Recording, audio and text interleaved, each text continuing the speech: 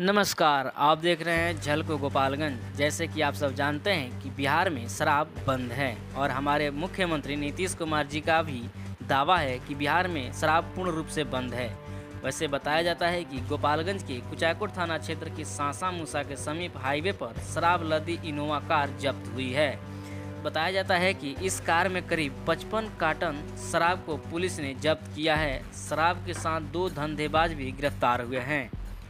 गिरफ़्तार धंधेबाजों में एक राजस्थान व एक मध्य प्रदेश का शामिल है। हरियाणा से समस्तीपुर जा रही थी शराब की खेप। उत्पाद अधीक्षक के निर्देश पर इंस्पेक्टर प्रकाश चंद्रा ने किया कार्रवाई। ऐसे वायरल वीडियो की पुष्टि झलको गोपालगंज नहीं करता है।